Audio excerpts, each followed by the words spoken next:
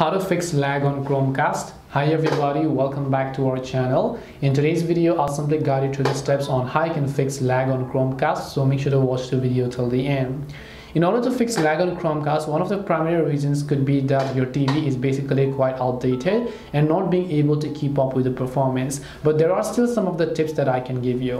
One of the first ways is to simply uninstall unnecessary apps. So I don't want you to keep unnecessary apps. So right over here, I have an unnecessary app, which is this one. I can just long press on it over here. Once I long press on it, I will be able to go ahead and open it or move it or view details.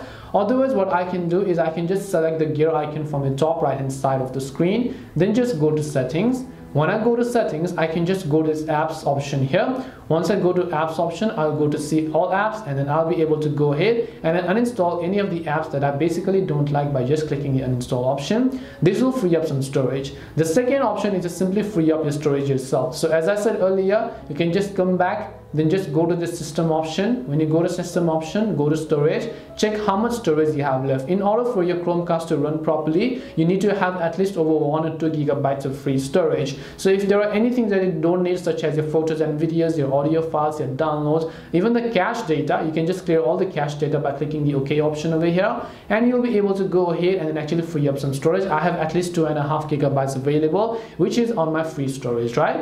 Last but not the least there are also some of the other things that you can do and that is to simply check your display resolution. So if you set a resolution that your TV does not support by first of all going to display and sound going to resolution if your TV supports 1080p just select 1080p itself. Uh, if you have 60 Hz enabled and it's lagging try to set it to 50 Hz which is just going to require much less power. And now you can just go ahead and click the OK option in order to use it in 50 Hz as you would be able to find it. Otherwise you can also set it to 24 Hz or anything that you would like respectively over here.